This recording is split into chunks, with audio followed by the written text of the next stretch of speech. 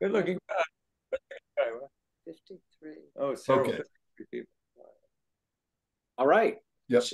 We'll go ahead and start. Uh, thank you all for coming here today. You know, uh, usually during the summer, we're a, a, a little bit slower. You know, we kind of follow the academic year, so to speak, in terms of having events. But this summer, we we've actually been steaming full steam ahead. We had a, an amazing trip to a farm a couple weeks ago, the Apricot Lanes Farm.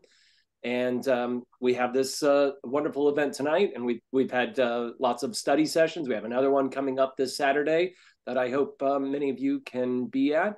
So um, i just wanted to say thank you all for coming out on this thursday evening. And um, stuart please uh, welcome our guest My pleasure. Uh, we're really honored again to have Pat Edwards, Patrick Edwards, uh, join us and talk to us about his extraordinary career and some of his thoughts and his connection to, da- to David Pye, who he's been long been a champion of the artisanry and the artistry and the philosophy of David Pye, which is very Ruskinian. Um, full name William Patrick Edwards was born in Los Angeles in 1948, raised in San Diego, where his studio is located.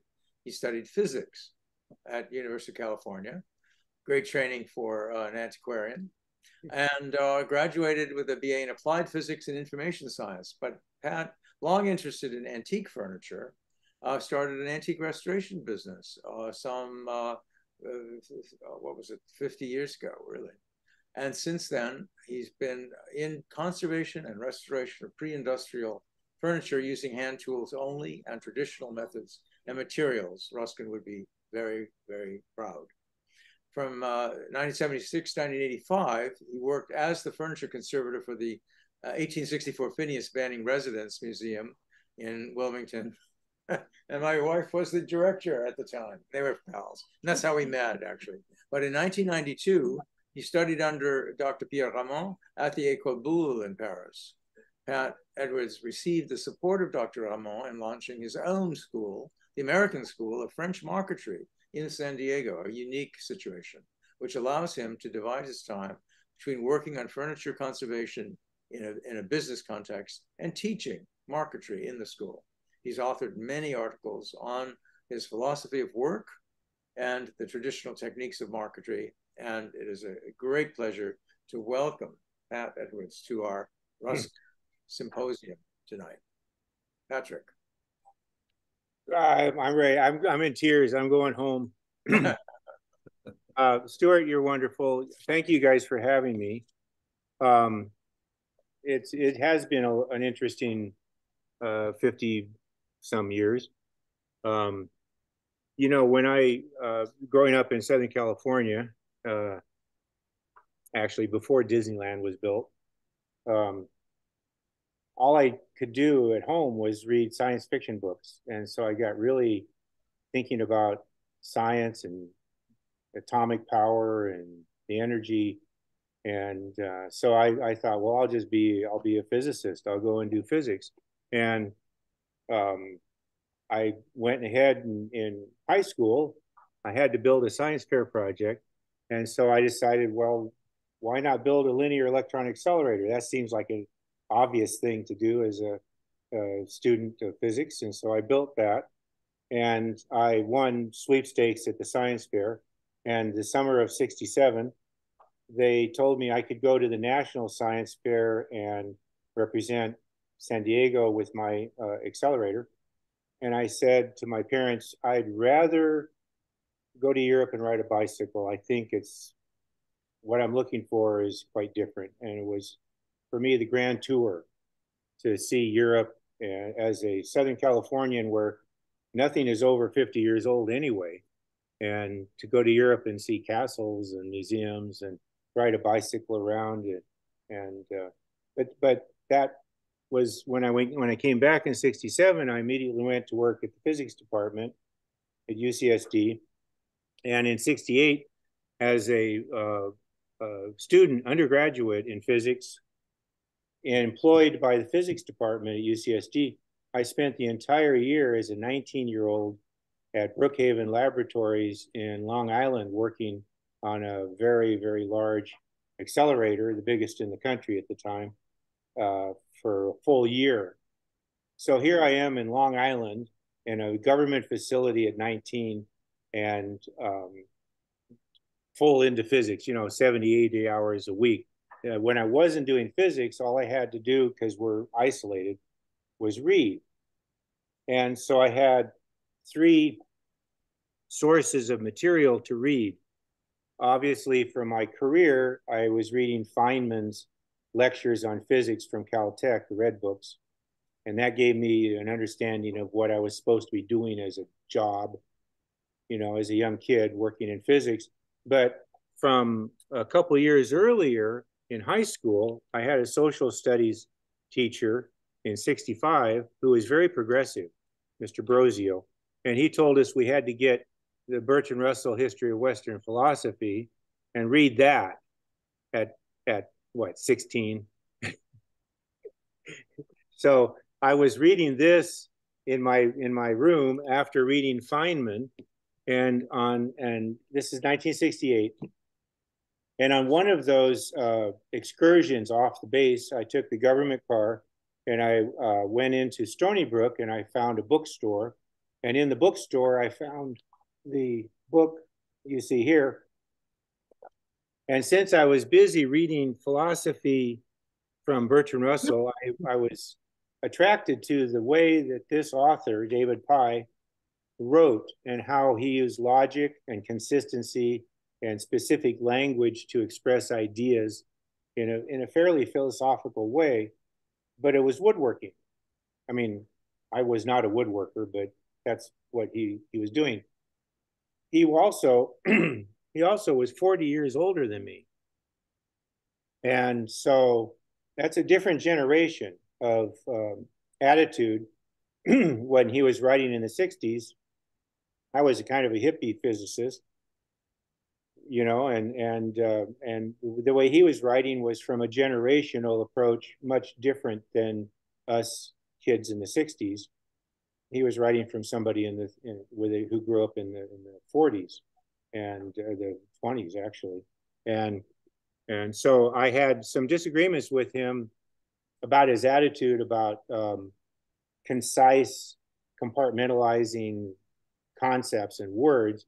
I was much more open to interpretation and taking these things that worked for me out of context and making them work for my life and most importantly, one of those was this idea of the workmanship of risk and the workmanship of certainty. And it's throughout the book, but basically, if the result is um, completely controlled, in other words, you put in A and B and you get A and B out, it's exactly the same and nothing has changed. It's certain what's going to happen. Then um, that's kind of what we were doing in physics because even though we're doing smashing atoms and trying to capture events and everything, we didn't want any unknowns or any risk to uh, affect the data. We wanted to make sure that we had calculated every single thing that went into this reaction so that what came out we could anticipate. Basically, in particle physics, it's pretty simple you take a known quantity of energy and mass and you smash it and you measure the pieces coming out in energy and mass and something might be missing. So you do that, say, 10 million times because the odds of probability. And then on 10 million times, you get enough data about what's missing to give it a name. so you call it, you know, a quark or a muon or a meson or some kind of silly thing like that. excuse me, and you apply for more research money because there must be something else to do. And that's that's the job of physics, high energy particle physics. But it does not allow for unknowns and risk. You have to know for sure that what can, what you found exists. So here comes this guy and he writes, well, wait a minute, what if uh, what if it's not well known? What if you take a risk and, and, it, and it comes out, you know, this way? That's the workmanship of risk.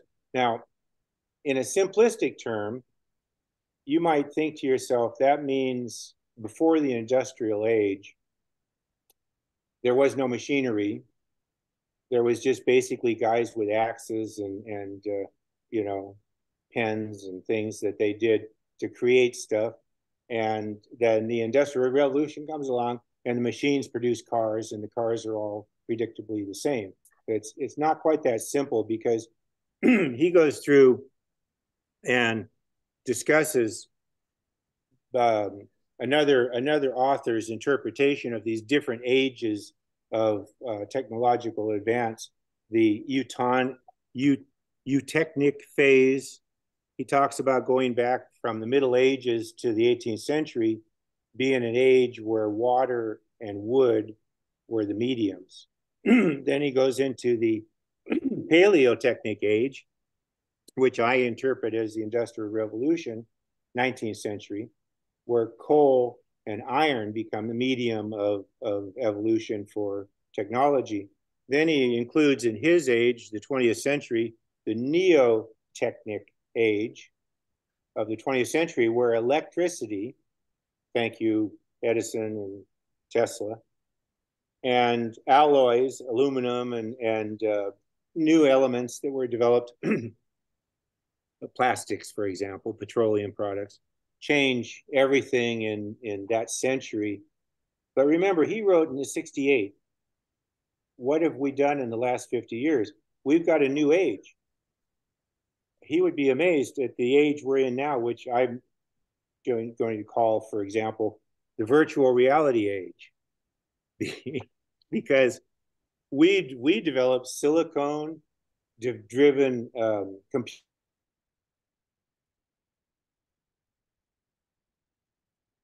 virtual reality. I mean, that's that's something unknown in 1968. All of that stuff, and we're going to see the fruits of that in in this next generation. And I'm going to live my life out watching that happen. We all are. Um, so, in terms of dividing these things up into ages, for me, it's basically uh, pre-industrial and industrial. I, I don't get into the nuances of these specific things because um, um, the, the pre-industrial age suffices for my argument that basically in a, in a kind of a pseudo-romantic way, uh, furniture was made entirely with, with human power. The tree was harvested uh, with, uh, with human power, slaves in Cuba, for example, we would bring it out to the ship, and the ship would use wind power to transport it up the coast. And the logs would be dropped off using oxes and taken to a water-driven uh, sawmill and roughly sawn, and then taken to uh, a cabinet shop where it would be air dried and then worked subsequently entirely by hand. And for me, that's what changed with the Industrial Revolution. They developed um, chainsaws, so they didn't need slaves to cut down the trees. They had tractors to move them out. They didn't need the oxen. They had trains and and uh, ways to transport it, and they had machinery that can mill it. And you put two inches, you put two inches on the dial, and the board comes out two inches. That's the workmanship of certainty, as far as I'm concerned, because you can dial it in and get two inches every single time, whereas previously you had to plane it down until you get to two inches or plus or minus. But it didn't really matter because whatever size it was would work with the next piece you made. So the summary for those who haven't read the book, from my perspective, that I concluded is that there are changes in the relationship between the worker. Now we'll just say worker because most of the time it was men, but I'm not going to say that. It's the worker and the material and the tool. Okay, three things the worker, the human, uh, the material, the wood, and whatever tool you choose to use. So it's the relationship between these things that changes from the workmanship of risk to the workmanship of certainty. So, in my world, which is the workmanship of risk, I, the human, hold the tool, which may be the same tool that a Roman would use, a chisel, a plane, a hammer, a saw. That tool hasn't changed for 2,000 years. And I would work that tool against the material. Human holds tool against material. And I take a risk that when I carve the leg, I carve it down nice and dense, delicate, but I don't go too far because if I understand the material and I use my tool and I cut the wood down too far, then the leg breaks. And so I'm using judgment as a human, controlling the tool, taking risks that the grain might be ornery, I might hit a bad spot in the wood, I might break the leg, but I might succeed. So if I take a risk and I fail, I learn something. If I take a risk and I succeed, I'm proud of what I did. I get pride in being able to control the tool, understand the material, and produce the desired results. The workmanship of certainty is where the worker feeds the material into the tool. So now the tool becomes the deciding factor. The tool decides whether it's two inches or not. The worker is just a helper feeding the machine. And as a hippie, as an old guy in the 60s, as a hippie in the 60s, I'm still an old guy. Um, I didn't want to be working for the man, which I was doing in physics. I was basically working for the man. Show up on time, do your job, get your paycheck, go home. No pride of work. Uh, Friday at five o'clock, hopefully you get to go home. That didn't happen for me. I was in research. We worked seven days a week. But you can see working in a factory, you are reduced to the, the worker feeding the machine material and there's not much pride in that. And so I did not want to do that. And the the the real intellectual result of this was if I hold the tool and I work it against the material and I succeed, eventually I'm going to be able to call myself a master of that trade. Something that David Pye doesn't like to say, skill. He doesn't like the word skill well, I love the word skill. I have great skill in what I do. And it's a learned experience to be able to master these trades to produce the result that I want. And, and I'm still in control. So I'm a master. Now, in certainty, you have the machine. So what do you do if you want to get better? You get a better machine.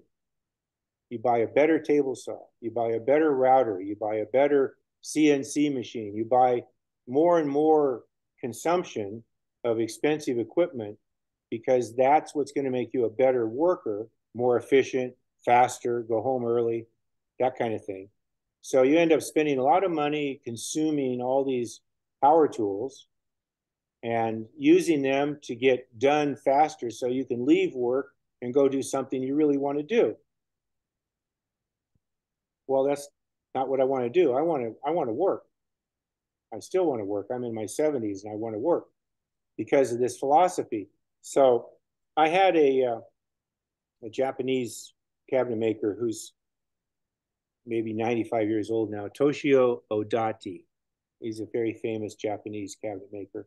And he and I were both working on um, these woodworking events, these public exhibitions that go around the country years ago. And I was demonstrating marquetry, and I would spend a lot of time cutting out little tiny pieces and putting them in my tray. And the spectators would all come by, and they either said one of two things. They either said, "I can, I can, I can put a motor on that machine and make it work better than that." And I go, "Really? I'm, I'm doing this." Uh, or more importantly, they would come by and they would go, "Wow, that takes a lot of patience." And I didn't have the right answer for that. I, I came up with this really lame analogy, which is no, um, golf takes a lot of patience because you hit the ball and then you go chase it, and then you hit it again, you go chase it. What what's the point of that? That must take a lot of patience to go out and walk 18 holes and hit the golf ball for no reason. That didn't work with these guys because they all play golf and and they uh, they thought, hey, I don't know what I'm talking about. So I wandered over to Toshio Odate's booth when I took a break, and I watched this man who was my senior by quite a few years. And he had a big Japanese saw and he was cutting a board that might have been two feet wide and six feet tall. And he was patiently sawing away a quarter inch piece of wood going down the saw, taking all day, just sawing the wood.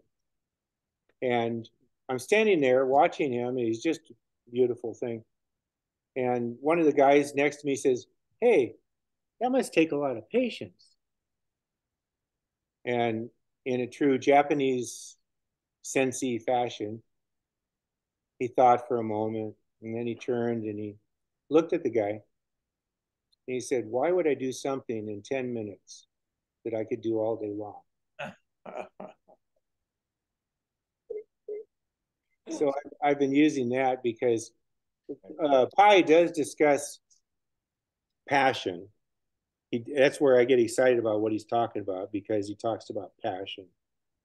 But he uh, he gets into other things that, that he doesn't bring that out. For me, the passion of the process is the most important part of it. People ask me because I make very complicated things that um, how can I get rid of them after I've spent eight or 900 hours of time building something very complicated? It must, they say it must hurt when you have to give it away or sell it or you no longer have it. And I look at them and I, and I, in my own way, which is kind of primitive and, and brutal.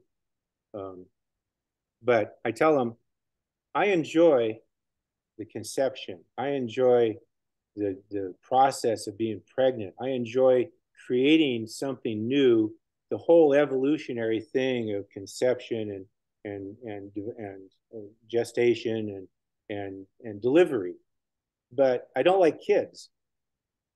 And so I don't mind being pregnant all the time because I'm creating these wonderful things, but somebody has to adopt them because they're just in the way after they're done they no longer interest me because all the complicated stuff is figured out. And there's nothing more intellectual that I can get out of a static object that doesn't require any interaction. So that's for me what what the process of of working now for 55 years, seven days a week at woodworking at marquetry, how I can do that. I mean, why I'm not ever going to retire. I don't see a, if I retire, what am I going to do? I don't have anything else to do. Um, so uh, to get back to Pye, because he did affect me in 68, I went on to get my degree.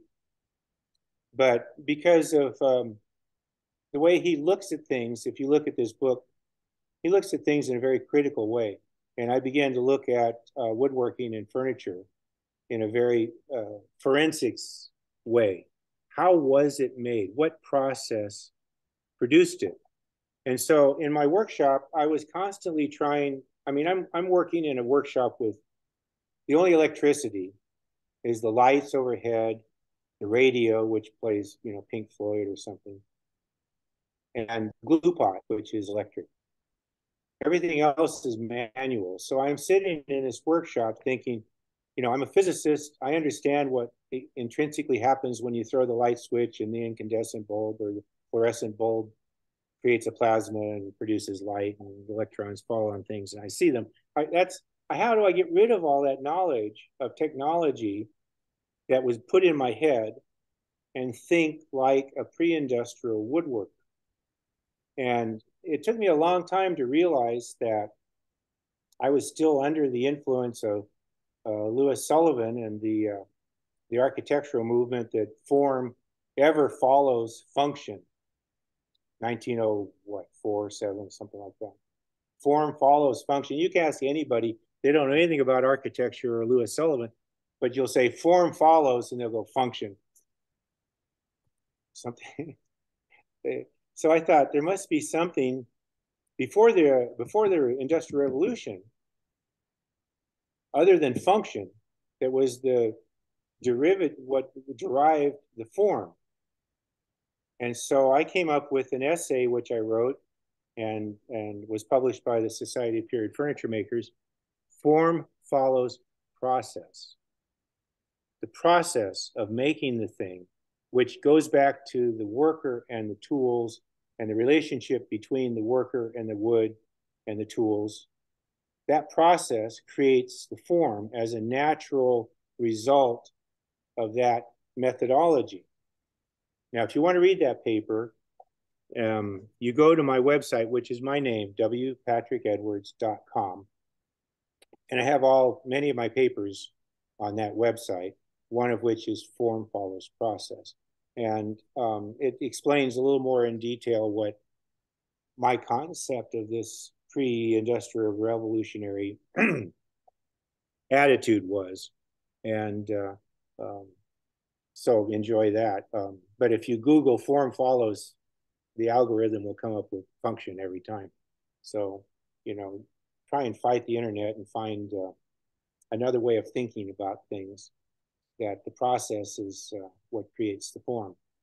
Um, so one, uh, one example of that might be that I have a molding plane and it produces a specific profile. Well, when I make the molding, that profile is going to be in the form. And so, you know, it's it's just because I have that tool that that form uh, exists. Another ex is the way they dealt with the expansion of wood in pre-industrial times. The wood expands and contracts. They didn't have plywood. So in order to make it stable, they would put a frame around a panel which would float in a frame. So frame and panel construction with drawbore, mortise and tenon joints was the form as a direct result of the process of working hand tooled wood to produce stable furniture that wouldn't crack over time. Now plywood comes out and of course everything's made out of plywood. The process of using plywood creates the form. But uh, um, I think up until Louis Sullivan, my argument is that the process created the form, not the function. Um, in in Pye's book, these definitions are very, very well thought out. He spends way too much time discussing definitions. Like on page 51, for example, he has um, technique. Technology is basically the evolution of technique, the workmanship, the good workmanship, the bad workmanship, skill, again, is a word not used in this book. And uh, um, he says basically um, that skill, using the term skill, is a, a starting point to an argument. okay, let's have that argument. um, and then he gets into the um, the word craftsman. One can no longer use the word craftsman. It is getting fly blown too many cranks and too many people trying to grab higher wages have called themselves by it. Well, what am I? I'm not just a worker. I have a craft. I have a skill. I don't mind calling myself a craftsman. Um, in my day, now, the term that I have trouble with is handmade. Of course, it's handmade. Even if it's a machine, somebody handled it. There's Kristen. Somebody handled it. So handmade is is totally um, overdone. She's she's giving me the television. Oh, it's five thirty. It's only five thirty. I know. Hold on. I'm not done. I'm not done beating Pye to death yet. As much as I love the guy. Plenty of time. Um, one of one people are still confused about the risk thing. To put it into analogy, he uses writing with a pen as a risk compared to um, printing. But to be fair, he points out that before the printing press could happen, somebody had to carve out those little letters in a, in a block to get imprint, you know. So there was some risk involved in creating the letter A, B, C, D, putting it in the in the press, and all the other risky things of jigging up for the workmanship of certainty.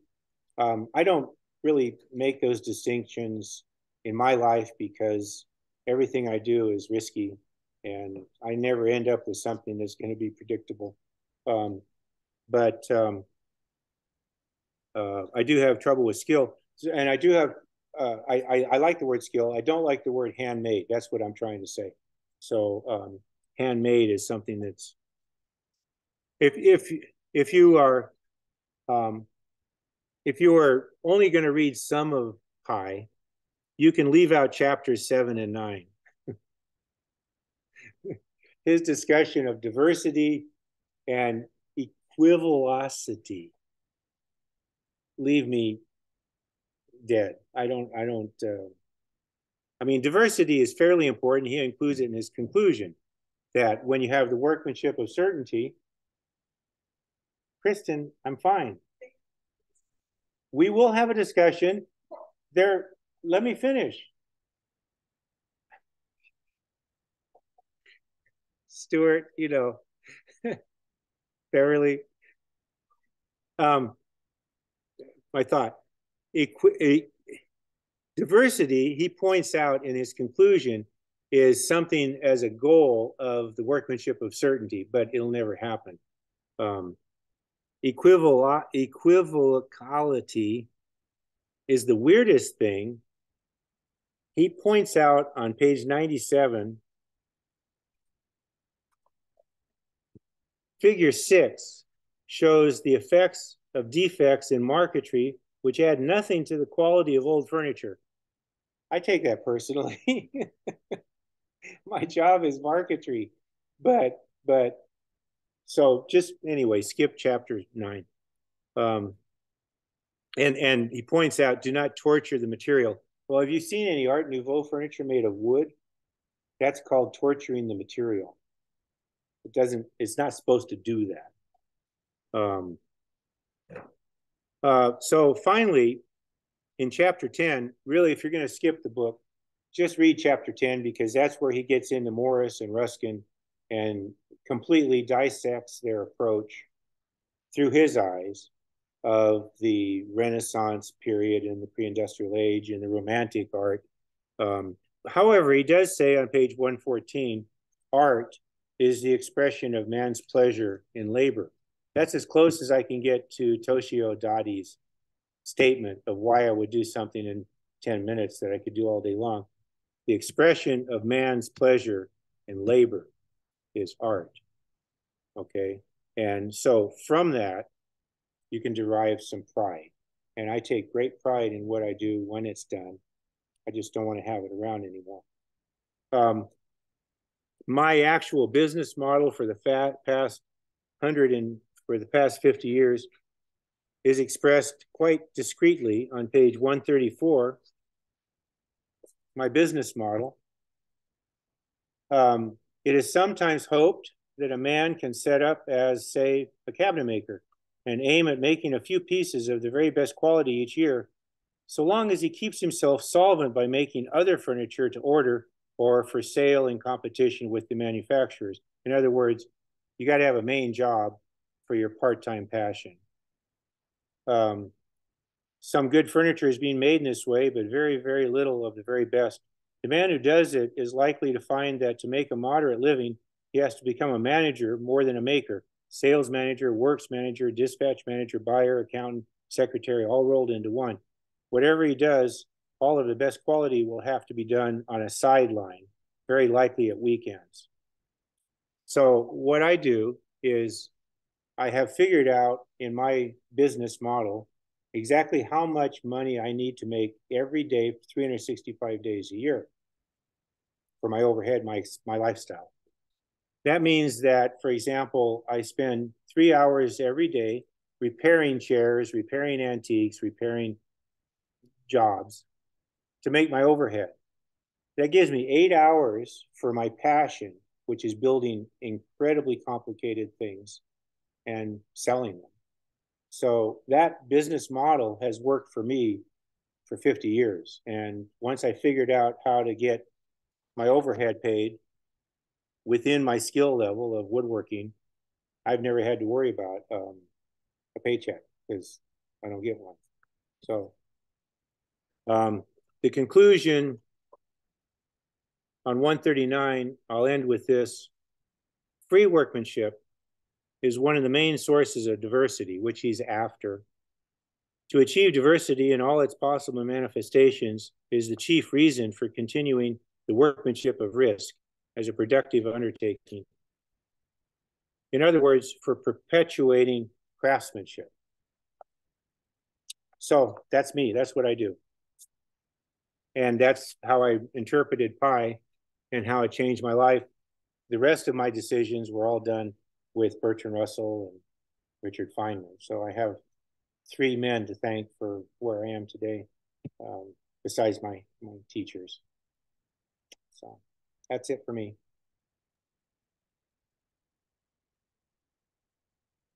Love you both. Well, as the moderator tonight, uh, I saw that David Judson asked the question of making a distinction, Patrick, between the term artisan and the term craftsman. Uh, are they synonymous for you? Uh, I would think they are. Let me ask you, and you're perfect to answer this question. Is marquetry on the surface of a piece of furniture fine art or decorative art? Fine art. I like you. How come you're not making the decisions of the auction houses and all the investors who only buy fine art? Well, they're dim. I think this is the answer to your question because uh, marquetry, in my mind, is art in all media. There's artists who work in sculpture, there's artists who work in stone, there's artists who work in wood, in all media. And that should all be considered fine art. And, and you just should add some zeros to the value. Whereas decorative art is just a table, is just with fancy covering, or it's a you know a cabinet that looks pretty. That's unfortunate. Well, I don't think that quite answers David's question, which is the okay. distinction between artisan as a term and craftsman as a term. David, do you want to take tackle that yourself? Yeah, I I, I don't know that I make much of a distinction from it. It is interesting because um, you know obviously it's it's gender neutral, so it's uh, a little more timely in that sense. But I, I believe artisan uh, takes craft out of that kind of position. So I think to what what what you're saying, Patrick, is that it, it is an an art term rather than saying craft. You're saying art uh, in a way. So I think that in a way is is um, to me has a little more power to it in in in some regards. Um, I, I cannot recall the word artisan being used by David Pye. No, and I don't think he does. And um, uh, but I think that um, uh, you, we we kind of are constantly challenged with these things. I think artisan has a has a just a different kind of perspective. Craftsman, to to me, to certainly harkens back to the craftsman movement and the period and that kind of thing. There's so many more connotations with it than an artisan, but you know, I think it's they're very similar terms. I, I would, in my impulse to answer your question is that a craftsman has to understand the materials he's working with uh, more than an artisan who may be more free to throw paint on the wall and not know what it does, to, to loosely generalize art. Sorry, mm-hmm. but uh, I mean, Pollock did it. I can talk about it, you know, just to throw paint on the wall. I wouldn't call uh, Pollock a, a, a craftsman yeah. But he was he was certainly an artist, and I imagine in his realm they would call him an artisan. But I think it has to do with um, uh, uh, perhaps I don't know a technical understanding of the materials you're working with. I, that's as I say it, it doesn't doesn't sound right either. So, no, but I, I, I intuited that as well. That that craftsman does connote material, and a, and a master proper joinery has to be proper joinery. Yeah. An artisan doesn't yeah. care that much about it, but a craftsman yeah. makes it work. Yeah. Yeah, that's a good point. It, it, it, is, well, it is interesting that it's not in his book at all. The artisan is a the definition is a skilled trade, um, and so you wouldn't call you wouldn't call you as you say you wouldn't call Pollock um, an artisan. right he doesn't have a skilled trade that involves making things by hand which is Yeah. technically the definition but but i know that suzanne Isken at the craft contemporary museum really was able to create some i think some valuable bridges between some of this terminology and also um, between um, artisans and and craft and and art. Um because she really had these wonderful for years these wonderful exhibits that were you know were as good as any art opening that i've been to in years. So but yeah i mean it's interesting just the word just the fact that it contains the word art sort of implies a little more than than than the Well, word I, I might I might add in response to that that the creativity, even though what I do is creative, I think creativity would be more in an artisan's venue to be creative rather than a craftsman who has a kind of a design goal that's predetermined. I know what the cabinet's going to be. I know what the design's going to be. Um, and uh, that's a good distinction yeah maybe the creativity element that distinguishes the two. I want to push that just one degree further in the direction Elena was going, I think, where the notion of art as a term or artist as a, a maker uh, suggests that one is incorporating uh, uh, creativity of ideas, not just creativity of form, creativity of sociological, philosophical, really, you can see what happened with Duchamp, this conceptual thing Yeah. happened, which is certainly not craftsman-like at all. It's the opposite. The object matters not. Mm. So that's really the end Sure. game of I think I think you've got it because I've stood next to you in art galleries and had you explain modern art to me in very intellectual, philosophical arguments. But if you stood next to me and I described a piece of marquetry furniture to you, it would be more technical, like what abilities were used to make this happen and understanding the, the medium, the mar- marquetry and the wood and the process, not any philosophical or creative background except for the social context of what it was used for and the class of people who might use it. But that's not the stuff you get from modern art. You get a whole different thing from modern art, the way you've tried to educate me. yeah, putting cottage cheese into a brick wall. Oh, you enjoyed meeting Robert Irwin, I remember when we Oh, yes, yes. I I introduced you to Robert Irwin. great. We had a wonderful conversation. Robert, my Robert Irwin was my father's student at Chouinard. oh my goodness. Full circle. you know we we try to define things and compartmentalize them but the best of art really is to have the creativity with the skill that is brought Of to it So what is that, Beverly? Is that an artisan or a craftsman? an artistic craftsman It's workmanship, according to Pye. that's right you know but but the part and i think the whole point is that we cannot lose the creativity that's involved and mm, the effort Yeah. brings skill to You know, the the word I think the word that's not being used here is humanity. I think that the workmanship of risk ref- reflects our humanity, whereas the workmanship of certainty is autonomous. It's not it's yeah, not flesh and blood. Well, very interestingly, just to bring it to a current impasse, you know, this writer's strike is is totally that. It's And exactly what that is. Who and this wonderful critic um, on, on the LA Times actually talked about exa- that used that word humanity. Yeah. And the fact is they they're arguing over, and the sticking point is AI, and can that take over the jobs of the of writers who are, express humanity and compassion to uh, Yeah.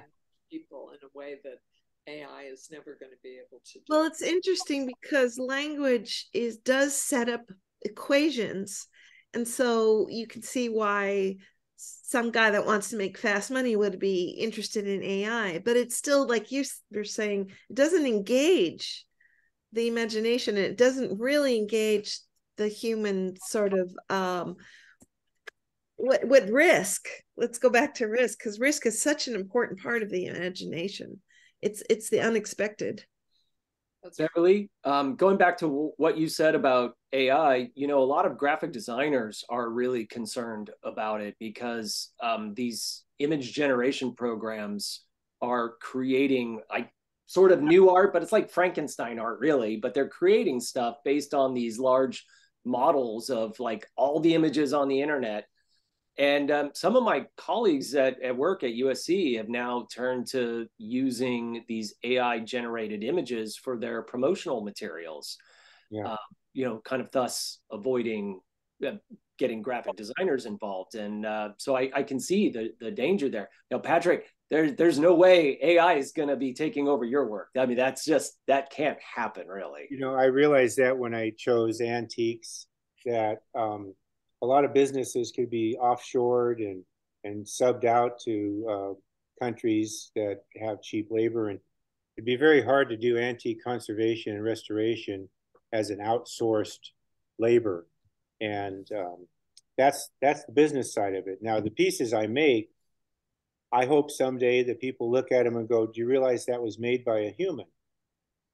and that may be the ultimate is be like today we have food which is labeled organic and we food that's not organic.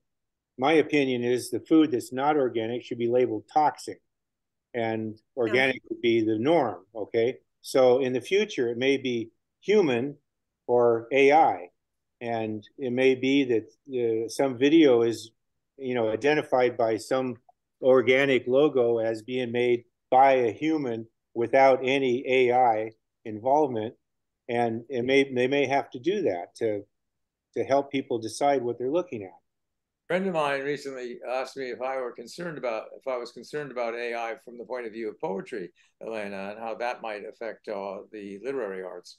And um, I was uh, I told him that uh, I, I cited the use that David Hockney has been making of the iPad and making drawings on the iPad. I mm. find them abysmal. I don't like them a single bit. Uh, gone downhill. But that's my subjective response to his art. I, I believe this. I believe that AI is going to be a kind of an evolutionary tool that will go through the phase of devastating all kinds of uh, careers and crafts and art, uh, literary arts in particular, music perhaps as well. Uh, but then it will become a tool. I think it will become molded to our, our humanity. Uh, we have a, an amazing way to transcend and overcome and triumph, no matter what is thrown at us. And the fellow that posed the question is actually an interesting chap who makes, uh, who uses algorithms to create video art. So he has these bizarre abstractions on 50 inch screens that have all kinds of raison d'etre behind them, mathematical, an electronic engineer, PhD. And uh, we'll be doing an exhibition actually for the Getty uh, next year of his work. Very interesting question he posed. One of the things I, I appreciate about Pye's work, um, just in general, is is his um,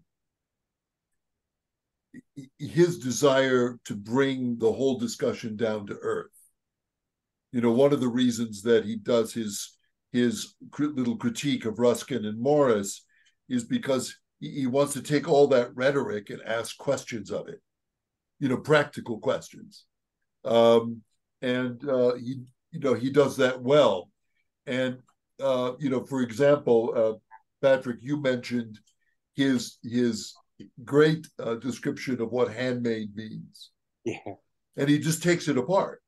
He says, yeah. okay, handmade, but handmade using a tool, handmade, you know, the uh, there are all kinds of other operations going on other than the the romantic idea of the handmade object.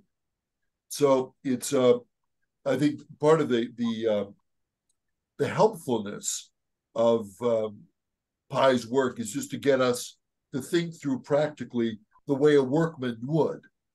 Uh, what we mean by these terms and what we what it actually is like to make something and the issues that arise in the in the process of making.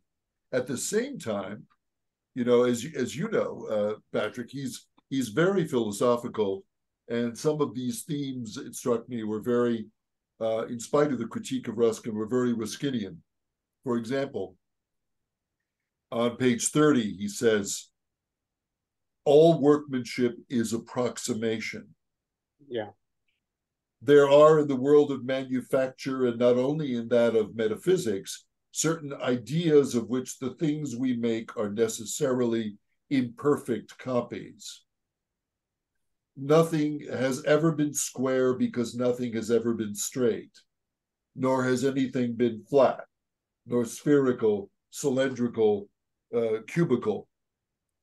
Um, he uh, then kind of concludes that whole section about uh, approximation by saying um,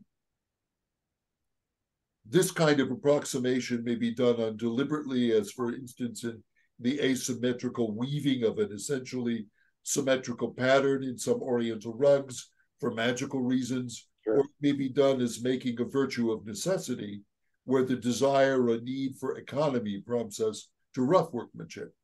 But whatever reason we give for it, in all such cases, the workman admits to the work an element of the unaccountable, the unstudied, of improvisation, either deliberately or because he has not the time or ability to prevent it. And that's right out of the nature of Gothic. Exactly. No, no, exactly. Yeah. I was I was reflecting. I wrote a note in the passage that one of the uh, the comments about the genius of Mozart is why it works, mm. why it charms us in the way that it does, is because Mozart uh, adheres to these absolutely regular patterns and then subverts them. You know, there's always the little regular pattern, and then just at the moment where the brain is sort of settled in, oh, I see, there's a three pattern, a ba ba ba ba ba ba. Then Mozart introduces something that you absolutely didn't expect a turn of phrase, a, a shortening of the line in a way that that charms that charms us. So it's always this this essential You're describing poetry too. Yeah. Well, yeah. I didn't mention it, um, but Pye does talk about music as an analogy. Exactly, a lot. I I play the stringed instruments. I play the viola, which has no frets. So when I put my finger down for a C or a D, I have to guess where that note is every time I'm taking a risk. And he talks about um, a performance of a piece in music um, as aspiration by the musicians to fulfill the desire or the expectations of the composer. Composer. Right. so they're taking risks. Live performances of music are one of the most exciting things a human can experience. And it's because inherently you realize there's a risk. They might hit the wrong note something a string might break. Who knows what's going to happen when you go to a live performance. Now if you play a record you know what you're going to hear. So that compares the two exactly is whether you're playing a record or recording or whether you're watching a performer take a risk to play something live also the difference between a performance of the same piece by lang lang or barenboim on yeah completely different yeah right. and and valued for the difference and the discerning audience member appreciates that. That's right. Oh, that's the that's a joy to. to that's understand. the joy of it. And that goes back to the human. What what we're also, I mean, just on a physiological, biological point of view, we know that doing things doing things with our hands and and writing and all these things that they affect the brain they light up the brain in a certain way so you start removing that and that's to me also got to be problematic down the line. Solve variety is the spice of life. Let's take it one step further. Variety is the essence of life, and that fits that mold. That mm. fits the mold of of the of the work work of risk. Doesn't and Pye, Pye would use diversity instead of variety. Diversity is okay. Same same word. Yep. Same same meaning.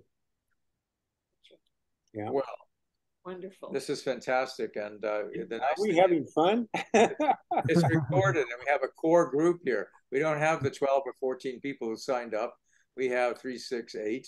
That's great. Oh. Nine, uh, and uh, uh so uh, next time, um, we'll, perhaps we'll have more people. But that this resource we're building Next time, can we do the history of Western philosophy? Oh, yeah.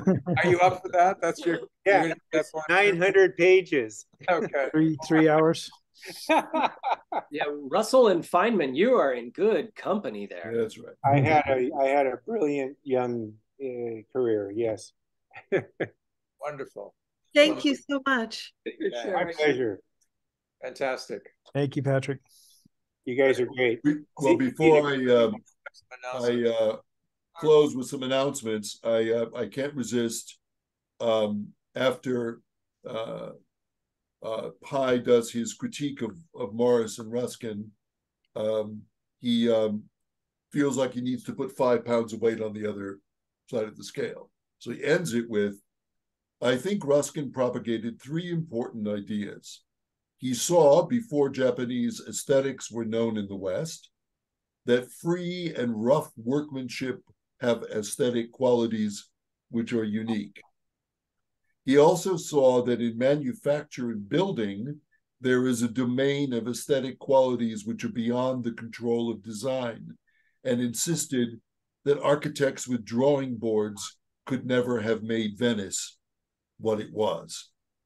Hmm. Thirdly, he described and understood the quality in things which I have termed diversity and understood its importance in the design of ornament, though not in workmanship. So I just thought uh, that, that's that's insightful, actually. I thought Pye's notion of diversity, Patrick, is really very rich. Yeah, and that's what his goal is for certainty, to get to that point where you can have both.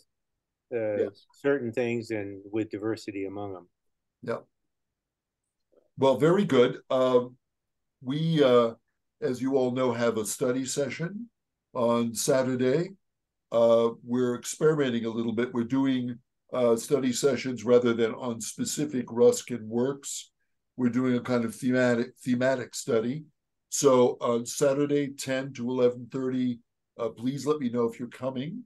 Um, uh, I'm going to do the first session and kind of lead us on a on a uh, we're going to take a look at mainly modern painters too and Ruskin's definitions of beauty.